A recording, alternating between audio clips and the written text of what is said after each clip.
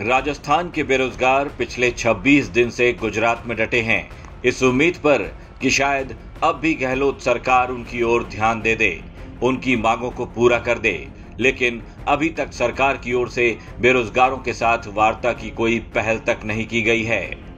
अहमदाबाद में सत्याग्रह कर रहे बेरोजगार युवाओं ने यहाँ आने वाले राजस्थान के मंत्रियों और विधायकों की सभाओं का विरोध करने का फैसला किया था।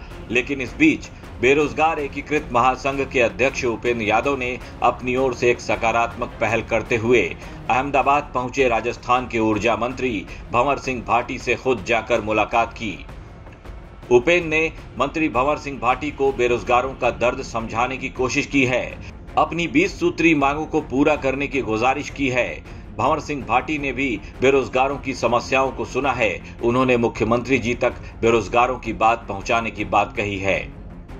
राजस्थान के बेरोजगारों ने अपनी मांगों को जल्द से जल्द पूरा करने की गुजारिश की है। बेरोजगारों ने साथ ही ये चेतावनी भी दी है कि उनका किसी नेता या सरकार से कोई व्यक्तिगत विरोध नहीं है, लेकिन अगर राजस्थान की सरकार ने उनकी मांगों को अनदेखा किया तो वो नेताओं की सभाओं में घुसकर कांग्रेस का खुलकर विरोध करने पर मजबूर होंगे। उपेन्द्र यादव के साथ राजस्थान के तमाम बेरोजगारों ने अहमदाबाद तक पैदल ही दांडी मार्च निकाला था। बेरोजगार यहाँ भूखे प्यासे रहकर आंदोलन कर रहे हैं। यहाँ तक कि दिवाली की रात भी इन्होंने सड़कों पर ही गुजारी। पेट भरने के लिए दिवाली पर मिट्टी के दिए तक बेचने पड़े। बेरोजगार लगातार अपनी परेशानी राजस्थान सरकार को समझाने की कोशिश करते आ रहे हैं, लेकिन शायद सरकार को बेरोजगारों का दर्द अब दिखाई नहीं देता। Bureau report. राजस्थान तक।